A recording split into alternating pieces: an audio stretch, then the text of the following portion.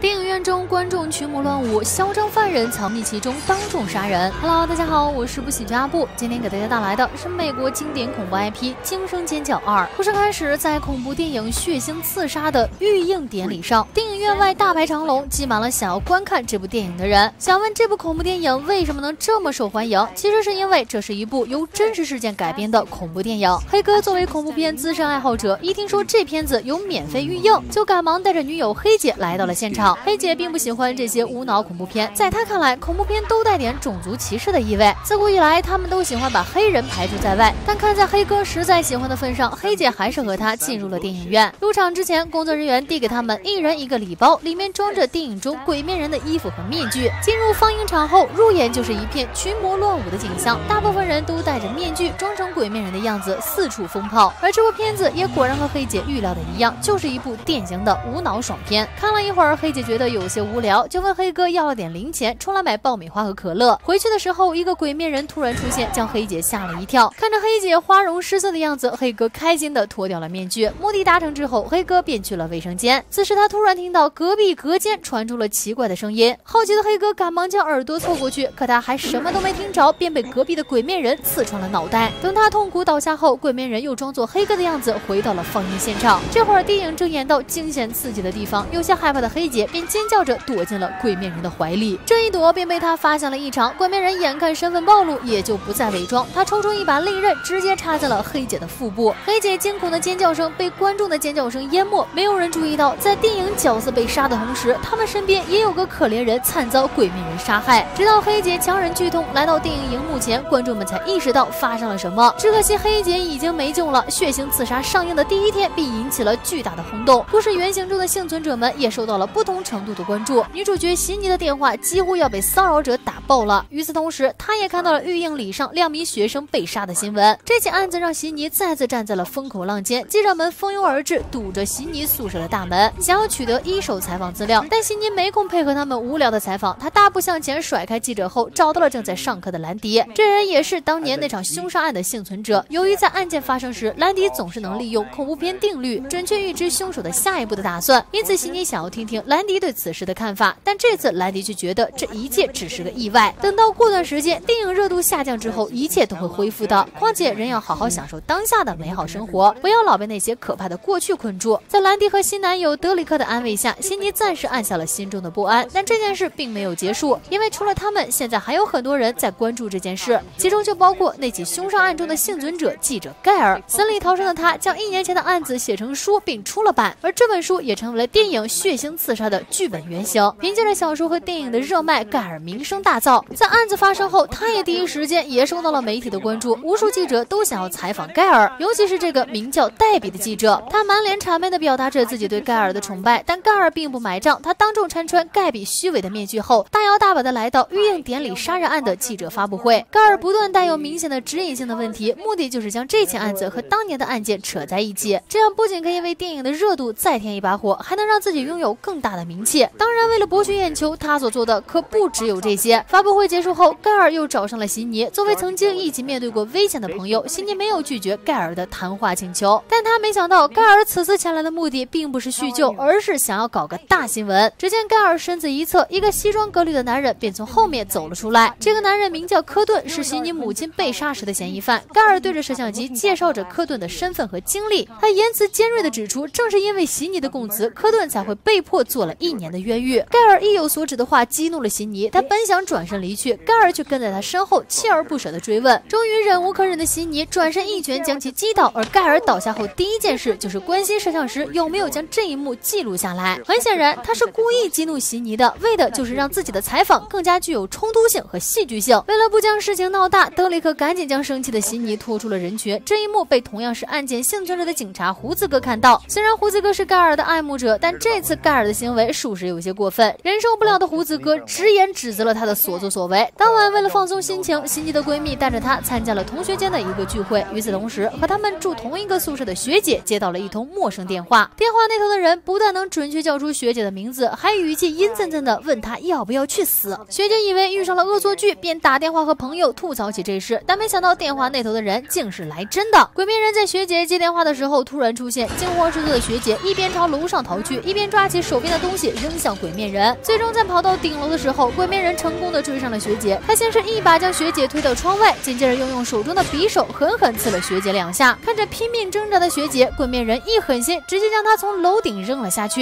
学校发生这样的大事，警察很快就来到了现场。参加派对的同学知道了学姐被杀的事情，纷纷要去现场凑热闹。只有心念因为当年的事情对死亡心有余悸，没有挤破头往案发现场凑。但独自留在派对现场的他却接到了鬼面人的电话，在挂断。电话后，下一秒，鬼面人就不知从哪里冲了出来。悉尼毕竟也不是第一次遇到这样的事情了，她一边呼唤着男友德里克的名字，一边颇有经验的闪身躲过了鬼面人的所有攻击。德里克听到后，迅速来到门边，但很可惜，不知被谁给锁上了。无奈之下，悉尼只能另寻出路。为了成功堵到悉尼，鬼面人转身从侧面绕了过去。虽然他确实堵到了悉尼，但由于时运不济，被沙发绊倒，悉尼还是抓住机会从后门逃了出去。德里克此时也绕到了后门，在得知凶手还在房子里后，他便。不顾自己安危，冲了进去。这时，胡子哥也来到了辛尼身边，听到里面传来的打斗声，胡子哥二话不说也冲了进去。但等他赶到公寓内的时候，鬼面人已经不见了，只剩下受伤的德里克惊慌的坐在地上。胡子哥简单的为德里克处理了一下伤口，就将他送到了医院。看着被自己连累的男友，辛尼有些郁闷。男闺蜜贴心的凑了上来，想安慰他，开导他，但他的话却引起了辛尼的注意。男闺蜜认为辛尼明明已经安全逃出来了，德里克还非要冲英雄，回到屋内找凶手单挑，正常。人不应该是远离危险吗？听了这话，辛妮瞬间想起了去年的那起案子，藏在鬼面人面具下的凶手刚好就是她的男友。而她这次不会这么倒霉，又碰上变态杀人犯了吧？辛妮虽然不想恶意揣测任何人，但男闺蜜的话还是将怀疑的种子埋进了辛妮心里。从医院问完话离开后，警方立刻展开了调查。警长将所有受害者的名字写在黑板上。此时，盖尔突然发现一个规律：这些人和一年前鬼面人凶杀案受害者的名字一样。看来是有人在模仿鬼面人凶杀案。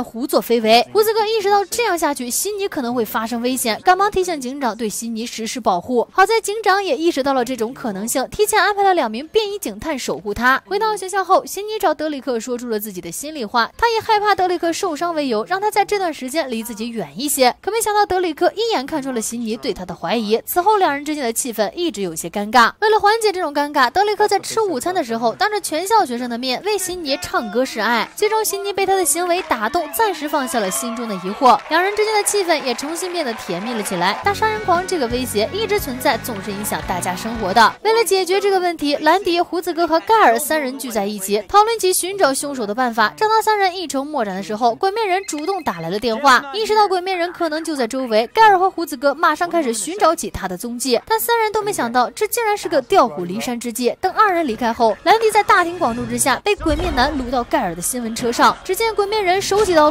一刀刀刺向兰迪，很快血液便剩了一地。另一边，辛尼独自在图书馆查阅资料的时候，电脑上突然跳出了鬼面人的警告，辛尼被吓了一跳。那动静自然也惊动了身后的便衣。就在便衣警察们努力查询信息来源的时候，出狱后疯狂想要出名的科顿找上了辛尼。为了曝光量，科顿极力劝说辛尼跟自己一起参加综艺。辛尼不肯，气急败坏的科顿便大声指责辛尼陷害自己，让自己做着一年的冤狱。科顿的暴躁的声音引起了便衣警察的注意，于是作为嫌疑人。人科顿再次被带进了警局，不过由于没有证据可以表明他是鬼面人，科顿很快就又被放了出来。兰迪被杀案取证结束后，媒体再次堵在了警局门口，所有人都围在科顿问东问西时，记者黛比再次拦住了盖尔的去路，他不停的在盖尔耳边絮絮叨叨，想要获得一些信息，但却被烦躁的盖尔臭骂一顿。兰迪的丧命让盖尔明白了一个道理，只要凶手没被抓起来，大家时刻都暴露在危险之中，只有除掉这个凶手，大家才能过安稳日子。想通之后，他便和胡子哥一起查起案来。来，二人来到一间教室，盖尔拿出自己摄像师拍下的所有录像带，希望可以从中找到一些蛛丝马迹。孤男寡女共处一室，案子没查出来，二人率先擦出了爱情的火花。正当他们探索对方身体的时候，辛尼发现一卷不属于自己的录像带，里面的内容正是学姐和兰迪被杀前的画面。二人目不转睛地盯着屏幕，但紧接着画面一转，里面竟出现了二人此刻的背影。意识到鬼面人就在身后，胡子哥想也不想便追了出去，但很可惜，这次他依旧没有抓住狡猾的鬼面人。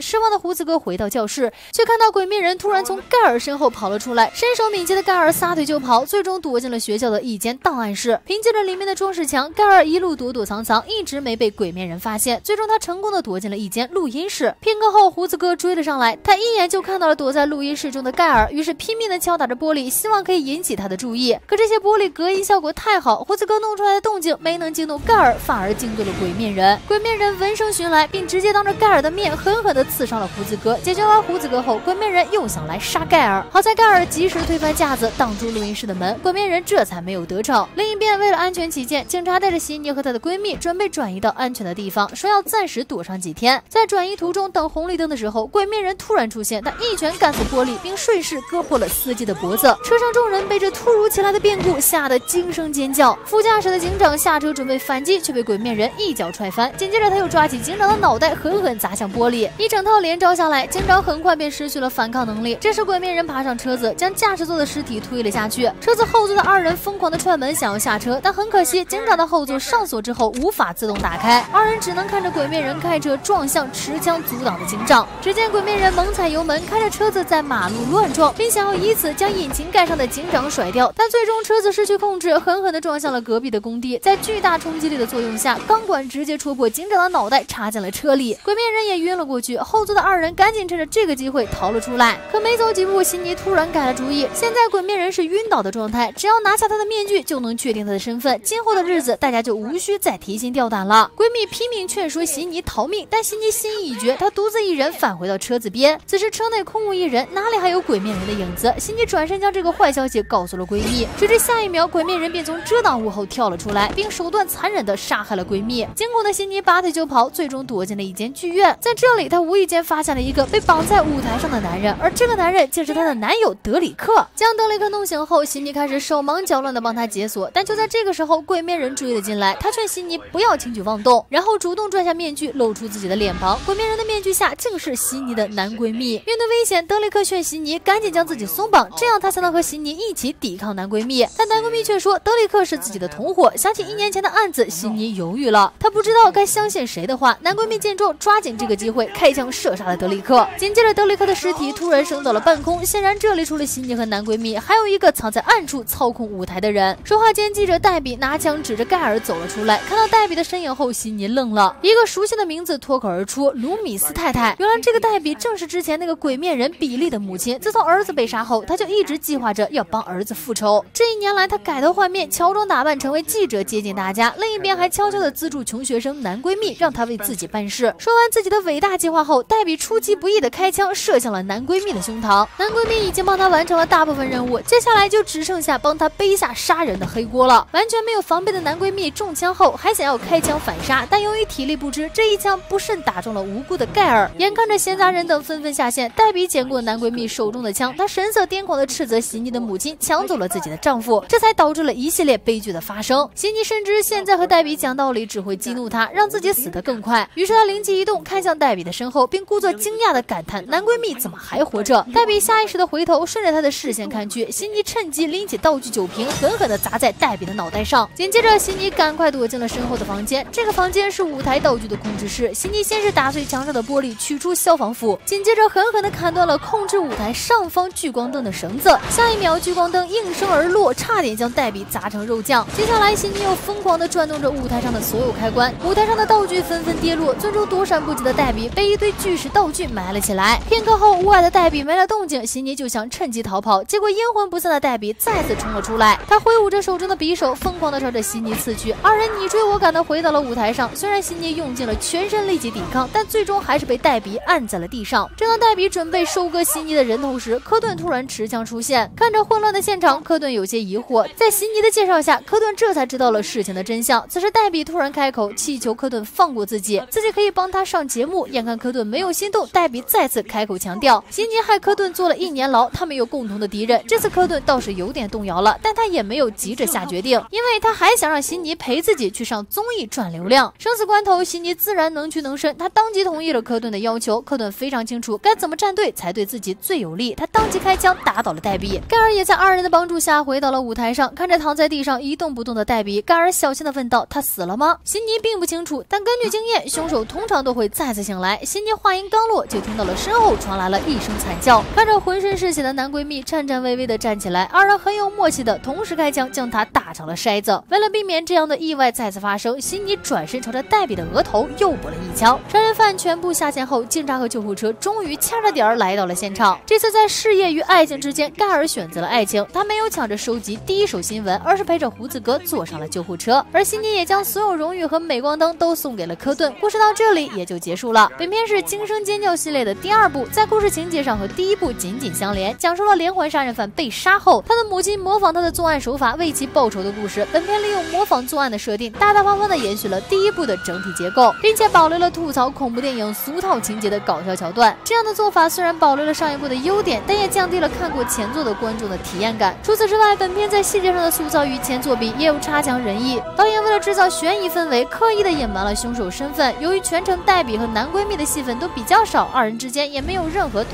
台戏份，因此在揭露鬼面人身份的时候会显得有些突兀。全片看下来，还真应了电影中兰迪的话：大部分续集都逊色于前作。预言帝兰迪真的不愧是你。好了，今天的电影就到这里，我是阿布，我们下期再见。